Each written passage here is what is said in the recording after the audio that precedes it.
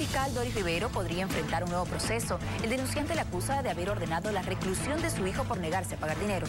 Contra la doctora Doris Rivero he caído en las garras de esa totalmente arruinado moral, económica y familiarmente, nos deshizo a la familia. Preocupado y molesto, Ismael Maya Orellana, padre de un joven que está detenido en la cárcel por un supuesto homicidio en accidente de tránsito, denuncia a Doris Rivero de un cobro de dinero para la liberación de su hijo, dinero que finalmente la familia no pudo pagar. La doctora me pidió, le vamos a dar unos mil dólares para que nos ayude, me dijo. Entonces, el resultado es que yo le di, pero cuando entramos a la audiencia y me lo detuvieron a mi hijo, entonces la fiscal le llamó de aquí de la plazuela del estudiante a mi abogada y le dijo, no, vení, toma, te lo voy a devolver tus mil dólares, toma, si quieres que yo les ayude, les voy a, denme unos tres mil dólares, así yo voy a poder ayudar. Mediante una audiencia de cesación a la detención preventiva, Ismael Maya logró la liberación de su hijo, pero Rivero, ensañada con la familia, revocó la determinación y logró que el joven sea encerrado por segunda vez en la cárcel. ¿Por qué yo voy a darle tres mil dólares a ella?